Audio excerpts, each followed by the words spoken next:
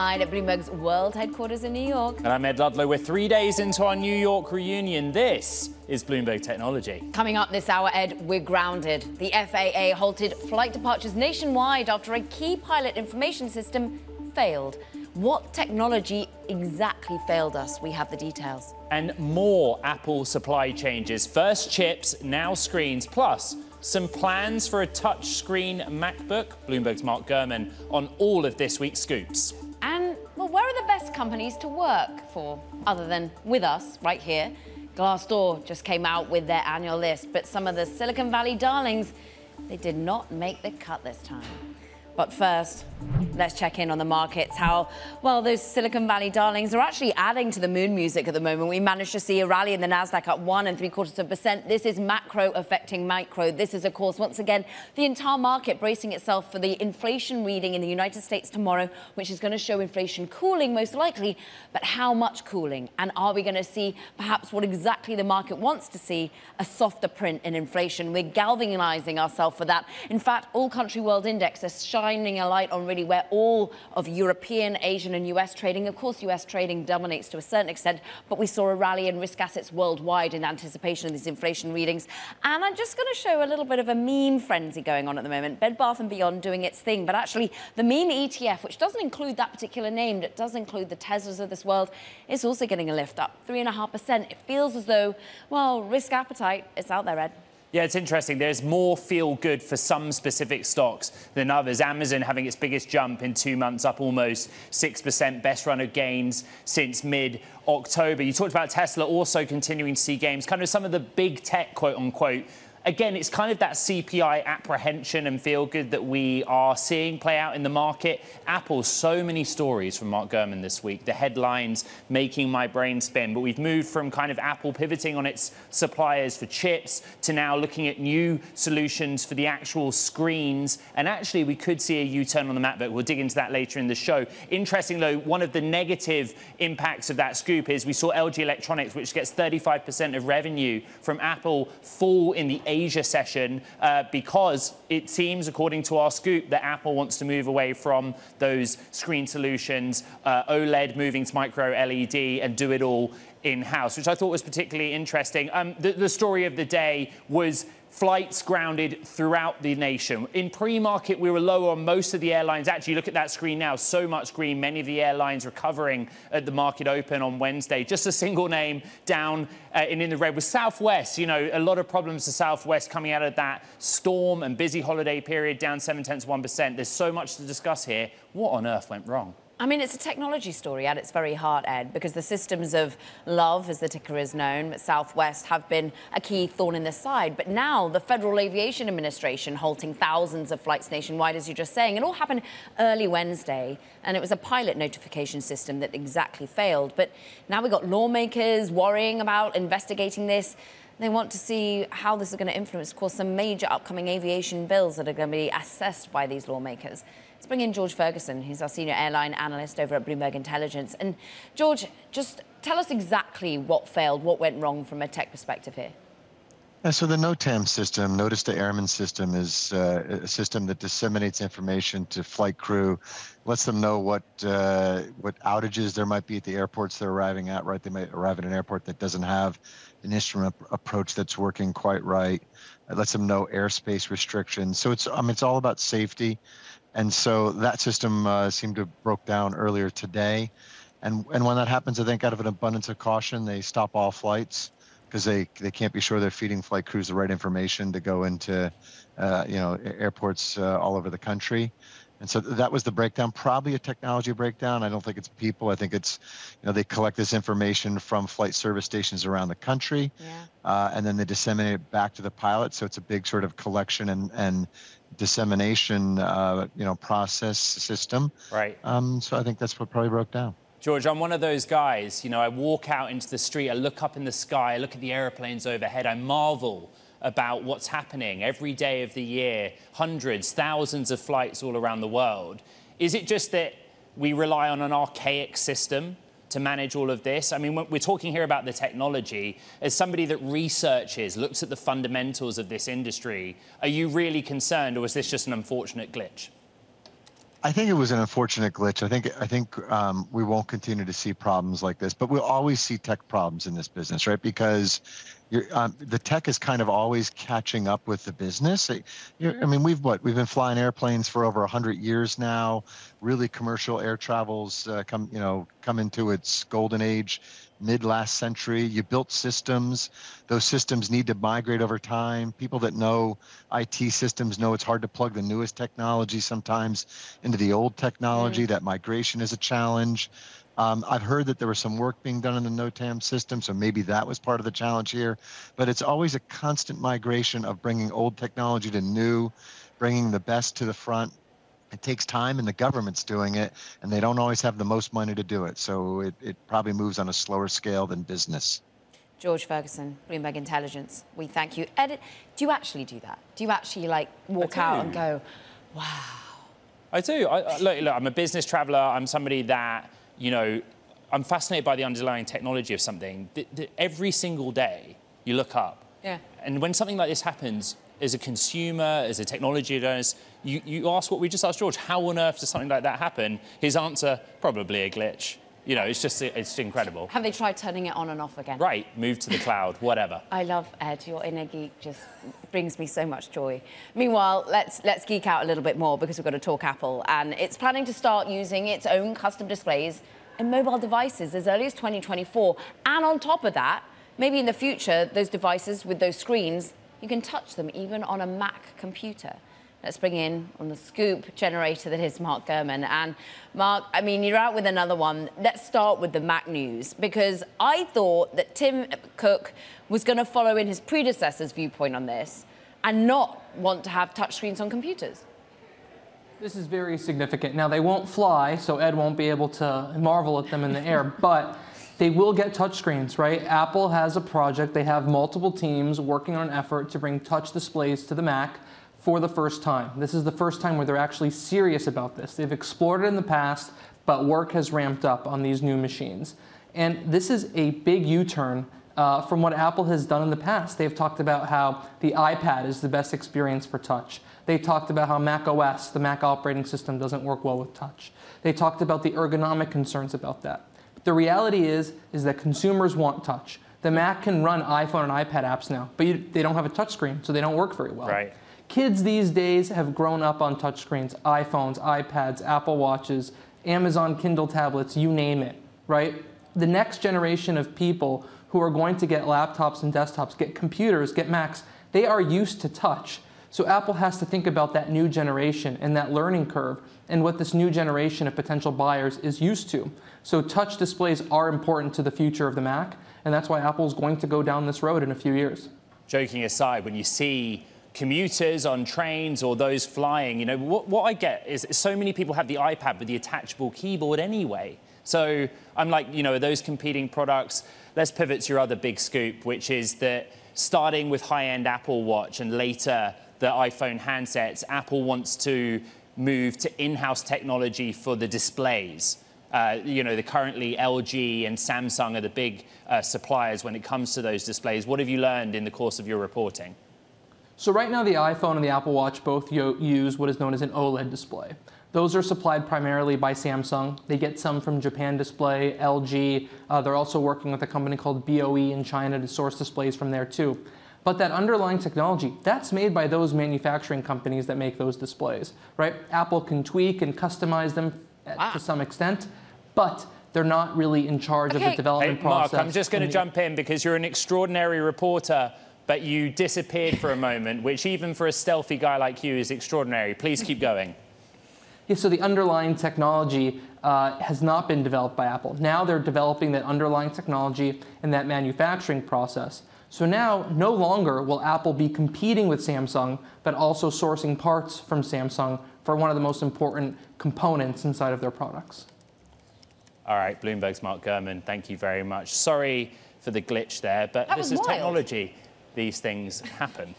glitches all over the place, whether it's on the airline systems or whether it's just a disappearing Mark Gurman. Meanwhile, well, let's talk about some progress being made when it comes to executive searches. Walt Disney, in fact, electing a new independent director Mark Parker as the chairman of the board. Now, Parker already been on the board for seven years now, and he was, of course, still executive chairman of Nike, so some big roles he's got under his belt. He's succeeding Susan Arnold, who will not be standing for re-election pursuant to what is a 15-year term limit under Disney's board tenure policy.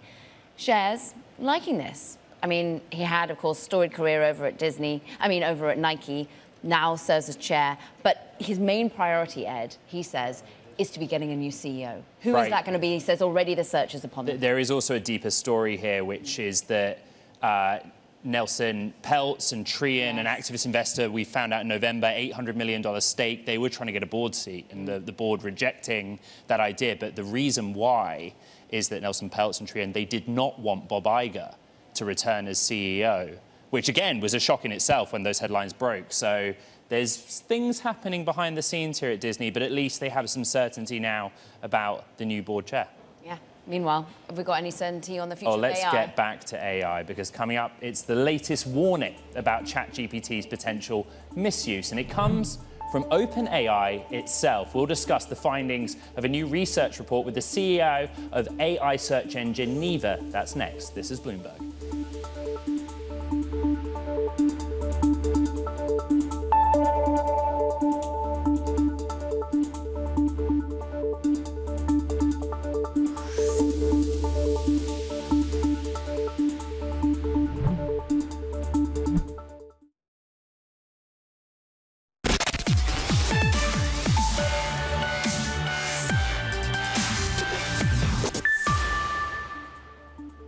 GPT, yes, we're talking in again. And there's a lot of fanfare around the AI powered chatbot that's gone viral in recent weeks. But there's some negative connotations here, potentially posing propaganda, hacking risks. Now, this is all according to a report published by researchers on Wednesday. Here's the thing two of those authored the study actually worked at OpenAI. And one of them, however, has since left the not-for-profit. But a blog accompanying the report stated, quote, our bottom line judgment is that language models will be useful for propagandists and will likely transform online influence operations. Joining us now to discuss the risks, as well as look, the positives, the use cases, the future of the technology, is Sridhar Ramaswamy, co-founder and CEO of the ad-free private search engine Neeva. And we're going to go into the, what Neeva does and the way in which you use natural language in a moment, Sridhar. But just talk to us first and foremost about what you made of this discussion about the fear of, of propaganda, about misinformation being used within AI. Because also on the flip side, there's a lot of positives, the way in which you can actually uncover who's behind certain cyber attacks, at least, too. Yeah, so large language models are one of the most exciting developments in the last few years. These are models that have been trained pretty much on everything that's been written down, everything that's on a web page. Um, the result of that is that they have enormous fluency. You can ask ChatGPT to write a little poem or a story, and it'll do an amazing job. Um, it doesn't know right from wrong or truth from falsehood. Uh, so, you know, the word that we use for that uh, is hallucinate. Um, but uh, it is incredibly prolific. I think of uh, these large language models as savants. Um, they can say very convincing things. They can say things in the voice of somebody, like you're writing, if you give it enough of a sample. Um, so it's not surprising, obviously, that they can be used for propaganda or misinformation. That's a problem that we face online anyway. Whenever I see something, I always look to see, well, is this from Bloomberg? Is this reputable? Uh, so I think the, those kinds of risks are going to go up, but I think there's also a lot of positive potential that come from these models.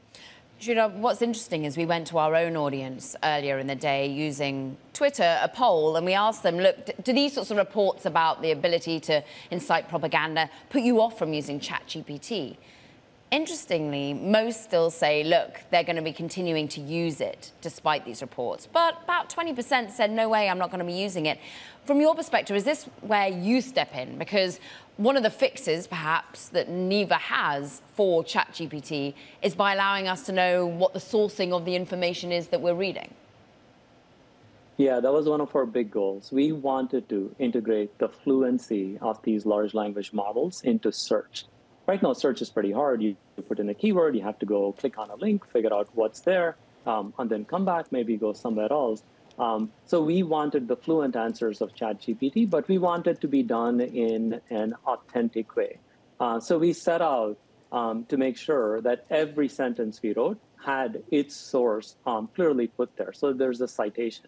Um, we also wanted to make sure that we could take into account real-time information. This is what we launched uh, earlier um, last week, and it's been exceptionally well received um, because two of the biggest problems that ChatGPT has old information, it sort of hallucinates or makes up fact, are addressed to a large degree by our ability to combine a search engine, which is all about finding you authentic, believable information, um, with the fluency um, of a large language model. So we are at the very much the beginning inning of how large language models are going to be integrated into various functions, including search engines. Um, so they can be put to very, very positive use, just like the internet. The internet is great for finding things, but obviously a lot of misinformation and bad things also happen. So we should think of these language right. models as being the same way. It's a tool. Hey, Sridhar, we're so grateful for you joining us from Munich, Germany. You're attending DLD. I know you're surrounded by people who understand the underlying technology, but there are so many people out there that do not. And I know that it's not straightforward, but could you try and explain to our audience what large language models are in layman's terms? How do they work? Yeah, so language models understand the structure of how we write and speak. Um, and you should really think of them as this intermediary, just like a keyboard takes the strokes that you put on it and produces sentences. These language models can take your input, um, but they're able to respond back to you um, with writings of their own because they've been trained on so much text. Um, but these writings by themselves, like, don't always have meaning. If you ask it to write a poem, you know, sure, it'll write a poem, it'll be fun. On the other hand, it might not know um, true from false or like what is a fact and what is believable and things like that. So this technology is very much developing. Um, but right now, you should think of this the same way um, you, you think of like any interface or, you know, like an interpreter um, that can listen to you in English and translate it into, into German. They have that kind of a yes. skill, uh, but they need to be augmented with, you know, other things from real world to be truly useful. And those things are going to come up.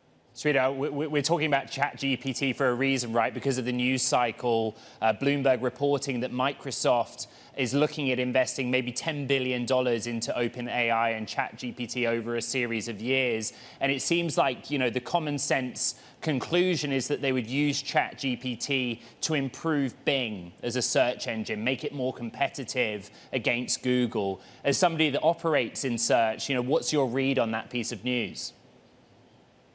Absolutely. You know, Bing is clearly a number two in the search space, and they want to leapfrog over, you know, just like we want to leapfrog um, over and create a better search experience. It absolutely makes sense that Microsoft would want to do that. Um, but we should remember that Microsoft's actually a juggernaut in things like work communication, personal communication. Um, and these language models are going to be helping anytime we write an email, anytime we want to consume a document or a web page. Uh, so the use cases for these language models are truly massive. Yeah. And clearly, Microsoft's being very smart by making a big early bet in this space. Sridhar, you make bets for a living too. You're a venture partner at Greylock, as well as, of course, co-founder of this business, Neeva. Talk to us about where the money is being made in your business. If you're not going to have ads, and, and if we're trying to visualize what a language format would be in terms of search that gives you a perfect answer and not a load of links to click on. What, what's, the, uh, what's the money spinner here? Well, so this is where it actually gets really exciting for Neeva because we are a subscription search engine. We set out to create a search engine that was all about you, the user, um, and we have a premium model. You know, people pay for premium features like being able to connect their email or work Slack um, to them. So our model is perfectly aligned. Um, I can imagine a scenario in which, yes, there is a chat-like interface, but some of the sentences are sponsored, maybe. Um, but uh, I think the yeah. one answer format it doesn't really jive all that well with uh, with advertising. But there'll be other cases. You know, people are going to use these models to create like personalized advertising for each and every one of us. So you're going to lose some, but there are other places where you're going to win as well in advertising. All right, Sridhar Ramaswamy, really smart analysis of this nascent space. Co-founder and CEO of Neeva, thank you so much for joining. Now, coming up, what's new in, well, Elon Musk's world? From new potential deals to being grand favorite at Goldman Sachs, we'll have the latest on everything Tesla, everything you need to know. This is Bloomberg.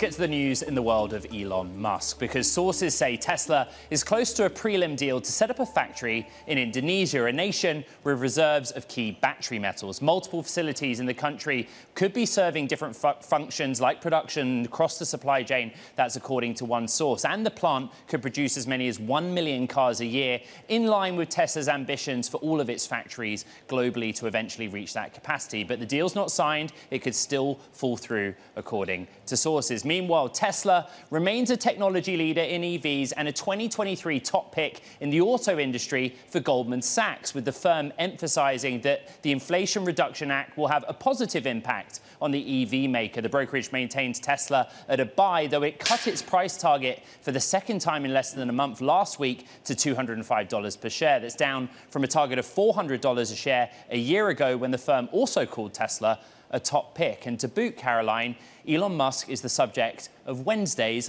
big take. And what a big take it was. The big take all about one Elon Musk, Tesla CEO, and he called himself, of course, Chief Twit. What else has he called himself across the years? But he might never reclaim perhaps the title as the world's richest person overall, Ed. This entire take from Bloomberg is about the way in which he paid himself, Right. basically, the, uh, and, and the way he's being taken to task in the courts An executive about the way in which he was right. compensated. And the whole point was he was compensated by options and certain ways in which he had to meet certain targets, huge growth in the share price. But for many a shareholder, they're basically saying, look, the idea is to lock you in and keep your attention on Tesla, but his attention isn't on Tesla, many would say. Right. So the 2018 Moonshot Award, so much money, lots of it options, but he borrowed against it, margin loans, to invest in other things. When Tesla stock was buoyant, well, it's not now. So now we're saying, well, what about margin calls? Will he ever get back to top spot? A really fascinating read from our team at Bloomberg News. I mean, I think the only person who got to the wealthy heights that he did, and then the only person to have lost, what is it, 200 billion? $200 billion. How the mighty fall. Meanwhile, well, there's a bit of money that's gone missing in crypto too, hasn't there? But billions of it have actually been found in the FTX bankruptcy case. We'll have to talk about whether this is actually going to help those that are currently out of pocket. From New York, this is Bloomberg.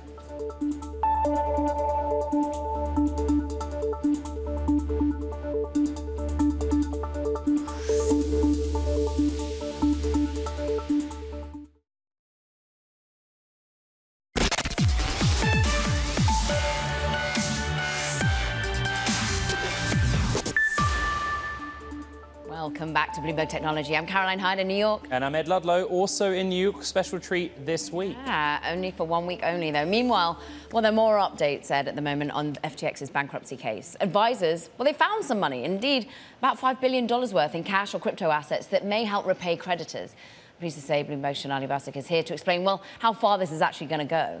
Uh, yeah, exactly. $5 billion is probably not enough for the 9 million accounts that are owed money at the end of the day, and the bankruptcy advisors did advise as much, Caroline. Now, remember that number, that sheer number of customers that they're dealing with here as they go through this bankruptcy process is important because, of course, they're of all different sizes. We know that they have asked earlier on to keep the names silent of especially the 50 largest, which have much more at stake. But at the end of the day, once you're spreading the love around, the money back to the clients, it's not as much as you would get back as if you were going to be paid in whole.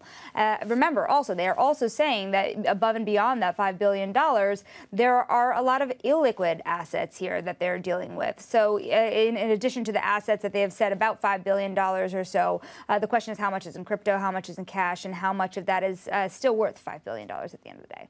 Hey, Sonali, one of the more obscure headlines across the Bloomberg terminal Solana based Bonk Inu NFT surged tenfold after mint, but listing attracts criticism. Very simple question.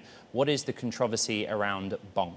Uh, a simple question without a very simple answer. Because at the end of the day, Bonk, what was interesting about it is uh, really when it made this uh, NFT mint, if you will, and a lot of it happened on Magic Eden, which remember has been closely tied to Solana. Uh, they had recently raised money here.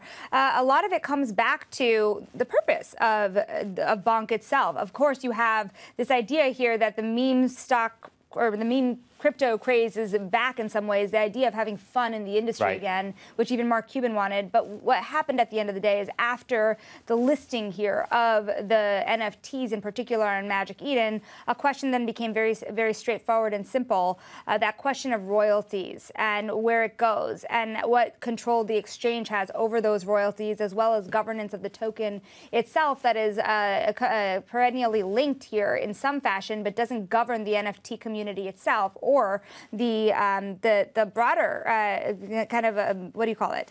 Uh, there are many, many communities around here to think about, but the governance of the of the NFT community and its relationship to Bonk has gotten very confusing after the listing itself has pursued. Not complex at all. I tried.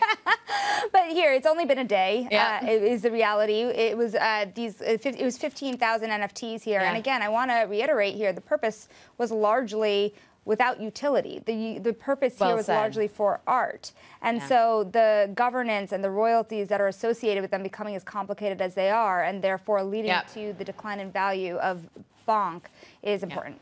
Sonali, thank you for breaking that all down on the world of crypto. Now we're going to get more in depth in the world of crypto, but first, some breaking news for you. The FAA system breakdown, that of course grounded many a flight today, was related to a corrupted digital file, we understand. The FAA glitch also affected backup system. It's all according to people familiar at the moment, so many had worried that this was some sort of cyber attack. They're saying no, the reason for all these grounded aircraft is a corrupted digital file. Very much a tech story, Ed. uh, literally a glitch, as we were discussing earlier. Let's get back, though, to Solana-based Bonk. And actually here to discuss that story is Solana's head of strategy, Austin Federa. Uh, thank you for joining us. Thank you for being here with us in New York.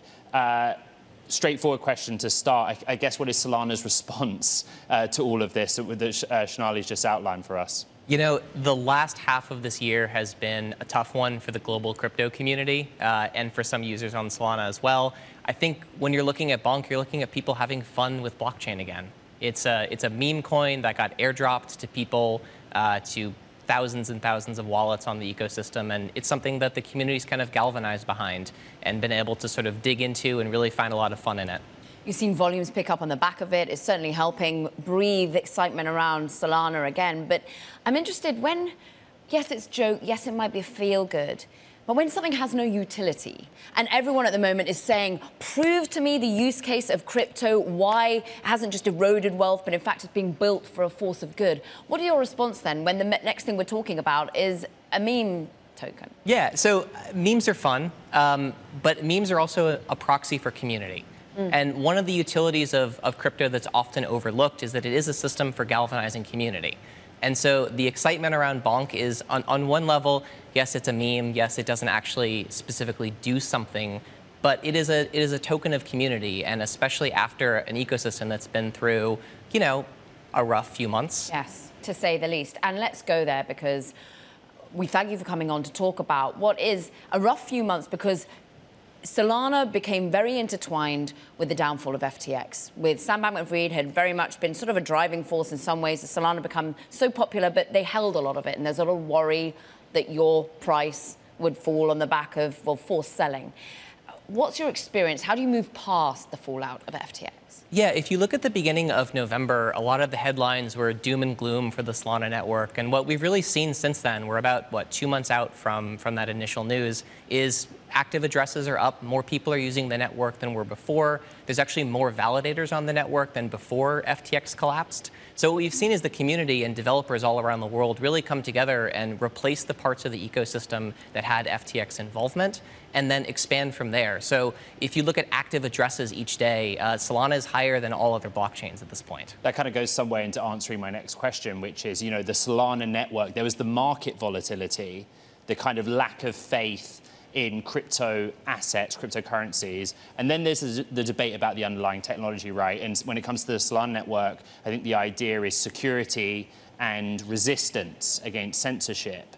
How do you kind of restore faith in the technology part of that story? Forget the markets for a second. Yeah, well, the interesting part is the technology actually wasn't part of what happened at all, right? From a technology standpoint, it, it was kind of, you know, I, I guess perception is to the outsider the as well. perception was. certainly Right. yeah but the fundamentals of the network are actually just the same as they were before which is that solana's vision is to be the fastest settlement layer for the global ecosystem, right? And whether that means you're talking about fast finality of transactions, tens of thousands of transactions per second being able to go through the network, uh, what we're really getting at is uh, a technology platform that can handle loads that other places can't.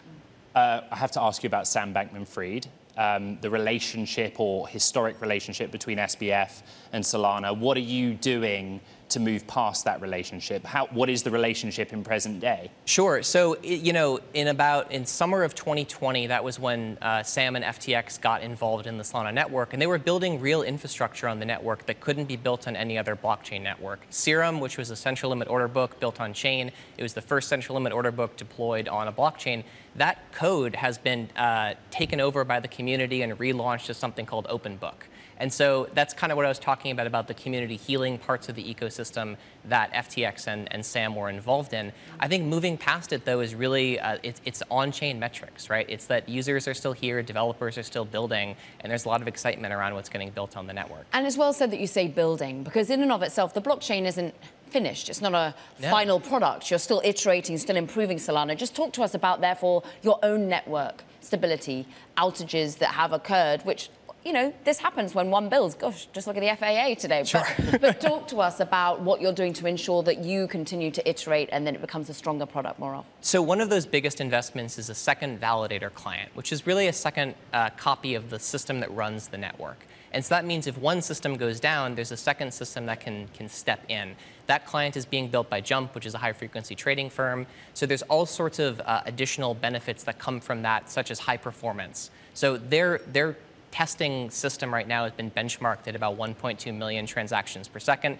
I don't think we'll see something like that in actual production environments when it actually gets onto the, the network. But we're talking about a lot of performance optimizations that allow people to build new kinds of products and services built on blockchain that are just as performant as the Web 2 counterparts. Let's talk about products and services because that's what everyone's waiting for. Yeah. The killer dApp, the finally that we start to use crypto not just as an asset or a means of exchange, but something more with utility. Like gaming. Um, yeah, like well, gaming. exactly. What is what is the bit that you're most excited about? What are the areas that are being built on in Solana that aren't means? So, if you look at 2022 in general, apart from the price, and it's very hard to not look at the price, but the technology is really why most of us are here it was a breakout year for blockchain globally. We saw Web2 companies, for the first time, build real user-facing products. They've all had some back-end experimentation for a while, but you know, from Google to Amazon to Meta to Starbucks, they're all launching products built on blockchain at this point. And so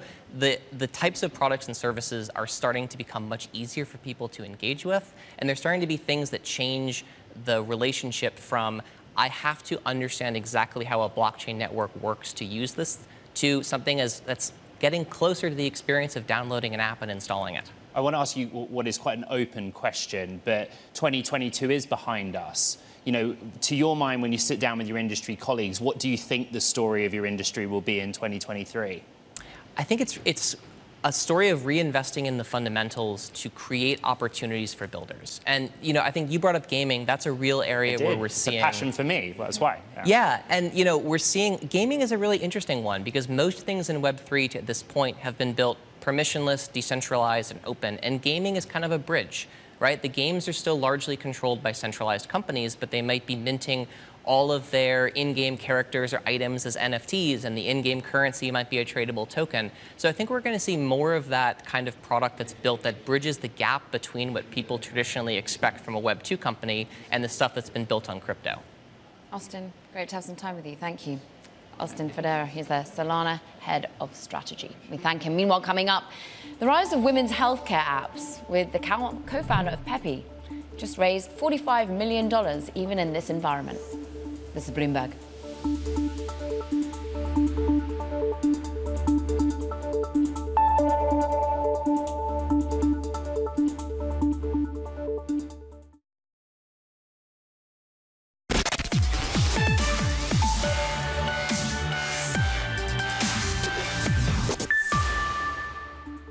Think, you know, actually the jury is out a little bit on exactly what telemedicine has given us. I think it solved a couple key gaps, but a lot of the telemedicine swing in particular has, you know, swung back to in-person and a preference for in-person and a recognition that a lot of patients need in-person procedures and care that requires physical, um, a physical presence and a physical infrastructure.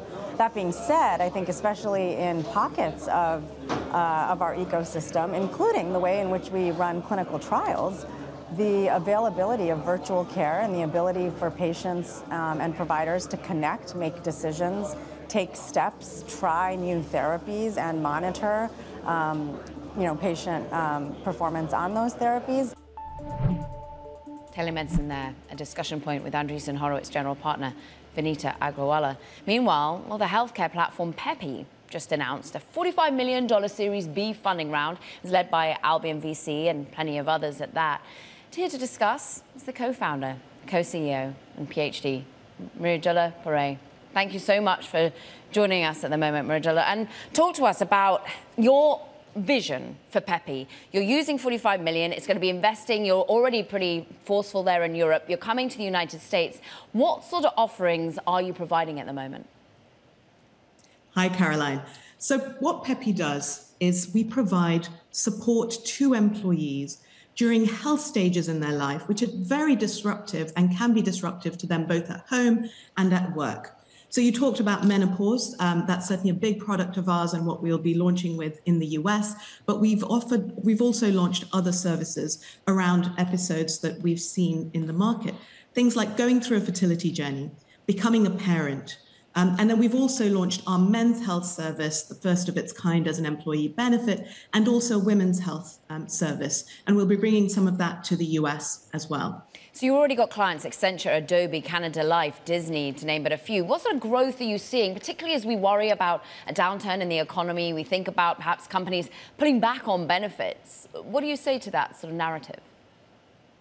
So we've seen as a business, like you said, in, in, in Europe, we've grown almost 4x um, this year. And what we are really seeing is companies taking much more um, seriously the reasons that keep people um, maybe out of the workplace, absent from the workplace, or they're you know, causing presenteeism as well. Um, really, when you look at these um, factors such as fertility, becoming parent, menopause, and so on, or maybe living with a, a long-term gynecological condition, the business case kind of speaks to itself. None of these are niche things. Mm. So, for example, in the US, um, 20% of the US workforce are women aged over 45, typically the age at which you would expect to see menopausal or perimenopausal symptoms um, appear with them. So, none of these are niche. They're all hiding in plain sight in any organization of any size.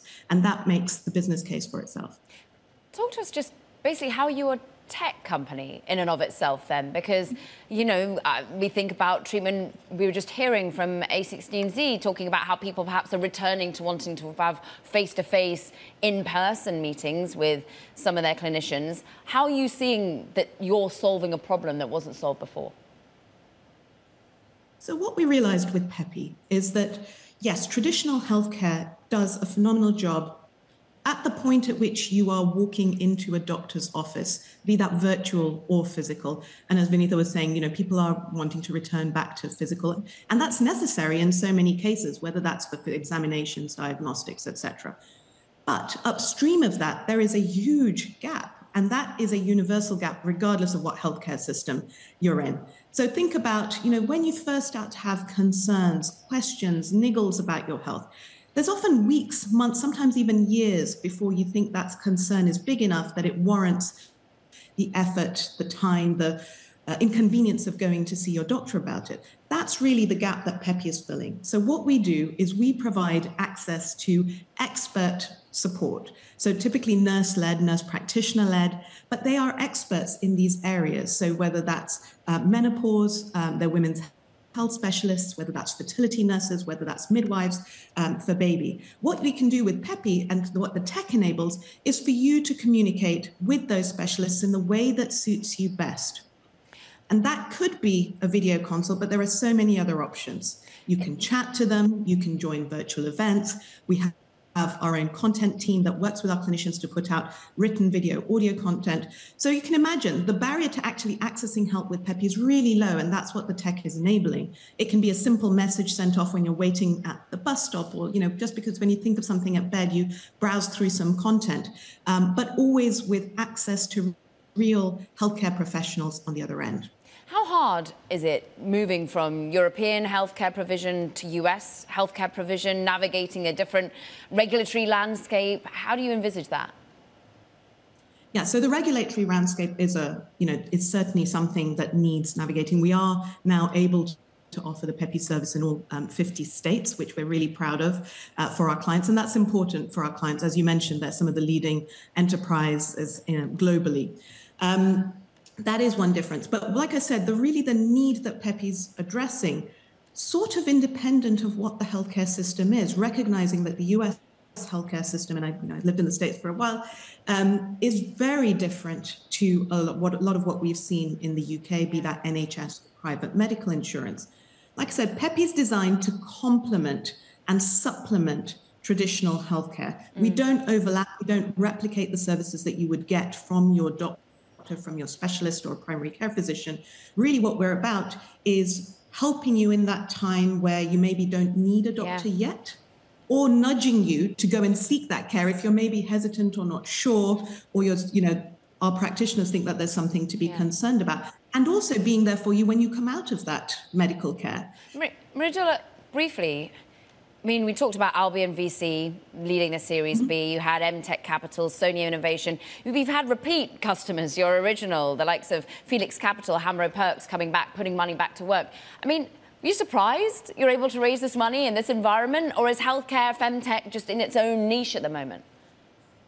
I'm delighted. I mean, I'm uh, especially to have the uh, you know continued support of our investors, some of whom have been with us for a number of years now, and Albion, who've known us for a long time, as well as some of the others that you mentioned.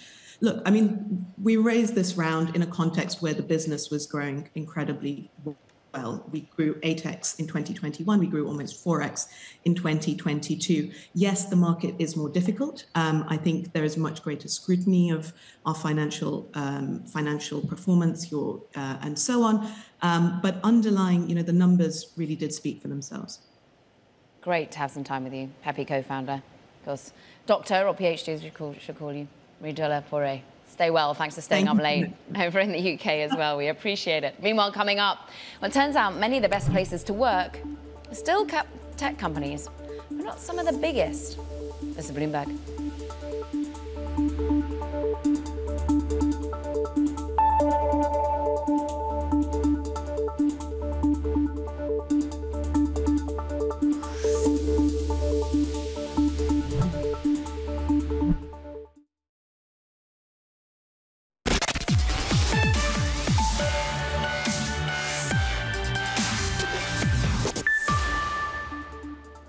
Viral. It is Glassdoor's annual list of the best places to work. This year, 41 of the top 100 ed companies were still tech Not companies. a surprise. But some big names, Meta, Apple, Zillow, not in the top 100 anymore. You have to go back to 2009, yeah. the last time when records began, yeah. for Apple to not be in the top 100. Meta 2011 layoffs, yeah. changing times, changing names. Mark Zuckerberg under pressure. It's a different.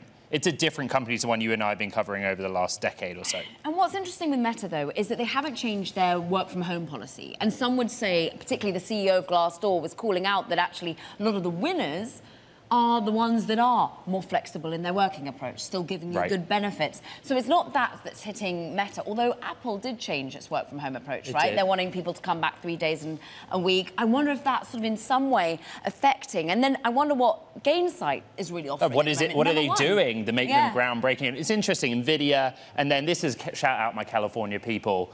In-N-Out Burger in the top 10 places to work. Not a tech company, but interesting to see nonetheless. And Google, a stalwart, I guess. And I would say In-N-Out Burger, important because female CEO. And actually, when you go to the list of the Good top point. CEOs on Glassdoor, you have to get till number 20 to Not actually get the that a CEO is deemed one of the best and a female. So that interesting that some of these companies are still coming out top, but their female leadership isn't getting voted. There's a long way to go in that respect. Meanwhile, Great chat, but that does it for this edition of Bloomberg Technology. You want to stay tuned for tomorrow, Thursday. We have Cake Ventures Managing Director Monique Woodard. Don't forget, check out your podcast, Apple, Spotify, iHeart, wherever you get your podcast. It's been a fantastic few days in New York. This is Bloomberg.